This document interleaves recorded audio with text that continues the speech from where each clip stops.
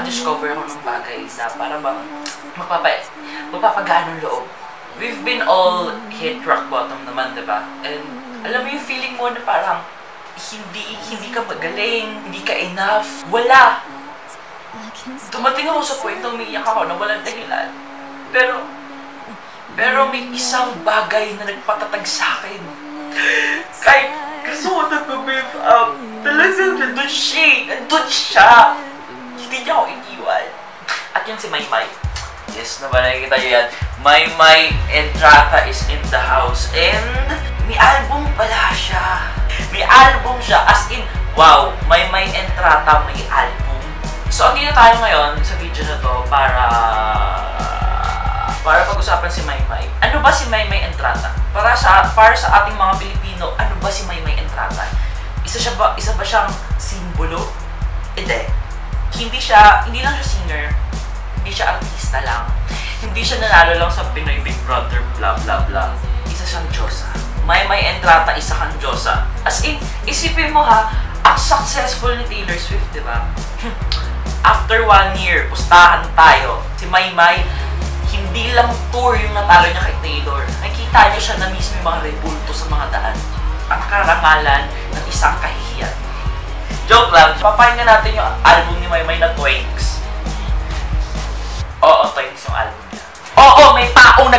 nagpangalan ng album niya, Twinks. Okay na? So, pakinggan natin yung una niyang kanta. Ang title is, title ng album. So, para siyang mga 2002 na kanta. Para siyang mga 8-8, gano'n.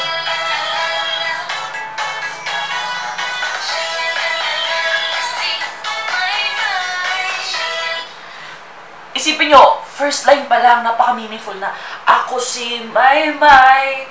Ibig sabihin, ibig sabihin, alam, hindi napansin, walang mga taong, walang mga singer na nagsasabi na I'm Taylor Swift, I'm Bruno Mars, ganun, di ba? Kasi si Maymay lang yung artist na nagpa, nagpasikat nung tema na self-love, self-acceptance, na mahal niya yung sarili niya, siya si Maymay, siya to, siya to, in her purest form.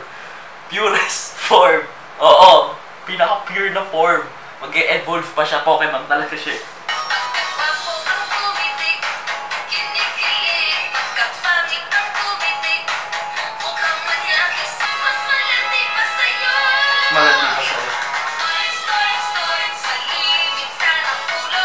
Toys, toys, toys.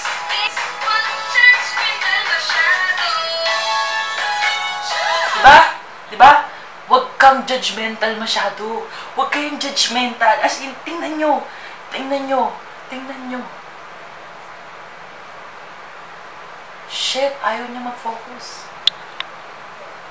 Si Maymay lang ang nagsabi, huwag kayong judgmental. Siya lang sa lahat ng artists. Diyos ko, ano ba talaga yung dala nito sa mga millennials sa Generation Z?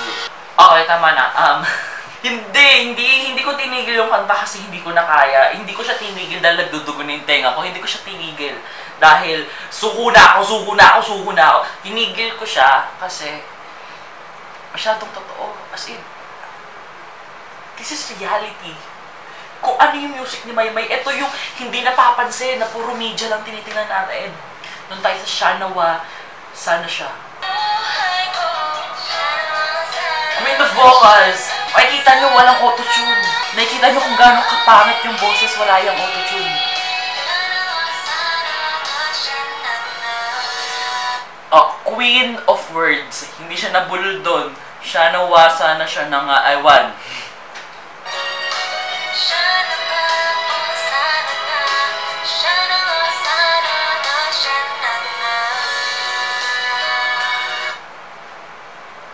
ko alam kung marunong pa ba ako magtagalog kasi hindi ko lang itindihan di. Pero kasi yun talaga, di ba parang pag sa Bible, di ba? May mga bagay tayo na nakasulat doon hindi natin maintindihan kasi malalim. Kailangan natin maunawaan, hindi lang maintindihan. Kailangan natin i- kailangan i-apply, kailangan natin i-analyze. Ganun si Maymay. Ganun ka-brilliant yung mga sinusulat niya. As in, iba eh, iba talaga yung Maymay Entrate. As in, alam mo yun? As in, Wala ko talaga eh. Alam mo, may theory pa nga na baka nga siya na yung papalit sa papa. Tapos kasing, tapos kamag-anak niya si Einstein. Alam mo, lumalabas sa album na to na parang siya, siya yun eh. Siya yung, alam mo yun, isa siya eh. Legendary siya sa generation natin. Siya yung papalit na din kay Shakespeare. Grabe. So, ang title nito, Kabadoyan, pero hindi naman mukhang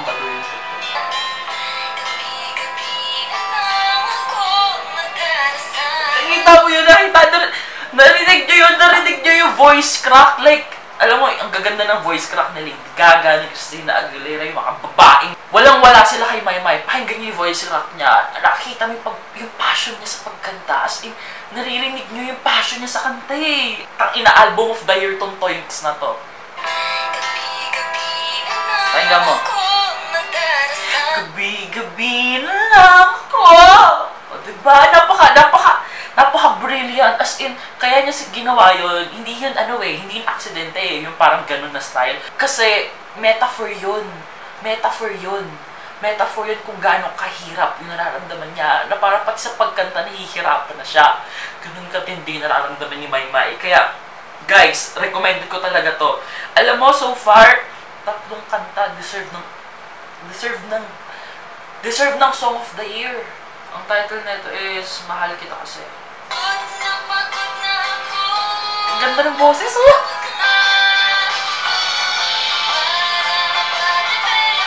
So may version silang dalawa ni Edward nung Mahal Kita Kasi. And Tain, putangin na naman! Ba't ganun yung Edward Barber na to? Okay na, sige na, may tsura ka na. Pero sinira mo eh, sinira mo yung kante. Alam mo, magsimaymay lang, ramdam mo, ramdam mo lahat. Pero doon sumama yung Barber, si Edward Barber, barbero ang puta! Yung next song is Pangarap, solo niya, so maganda to. Na, this, this song, no, mo, kaya nitong i-wipe yung buong Reputation album ni Taylor, I swear. Sun, yes,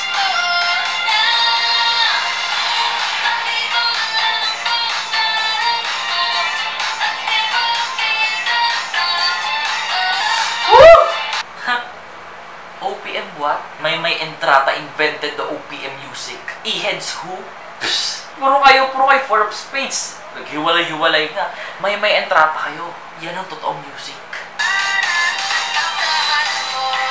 Asahan mo!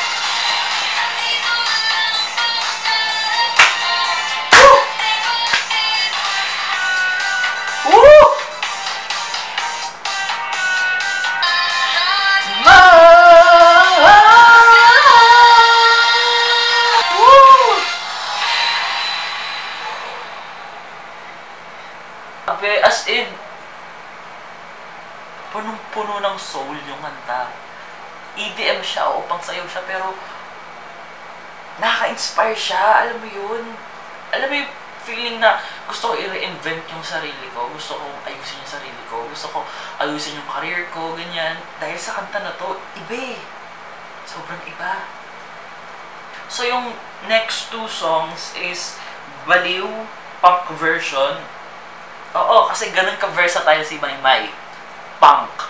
Pero, pero, pero, meron siyang Baliw acoustic version. Siyempre, Maymay yan. Walang makakatala dyan. The only problem is, kasama, kasama na naman niya si Edward Barberong Pusakal. Diba? Mukha lang meron si Edward. Si Maymay talent. Mukha. Existence. Sige, try ko pakinggan. Bye! Try natin acoustic. Mali mo, si Maymay mauna.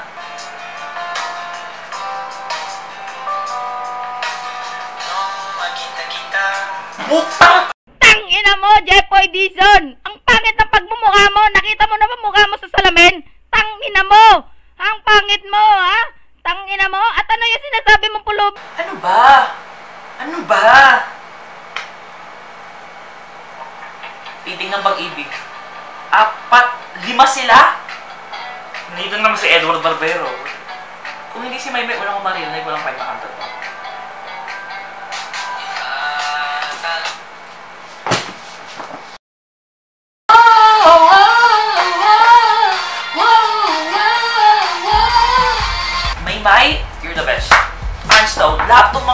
Songs niya, the best. Lahat pang Grammys, lahat pang, pang international. Nakakail na lang na hindi, hindi siya nare-recognize, pero please. Ito yung dahilan kung ba't nawala yung depression ko. Guys, speechless ako. Alam mo yun? As in, nakikita ko na kung ano magiging future ni Maymay.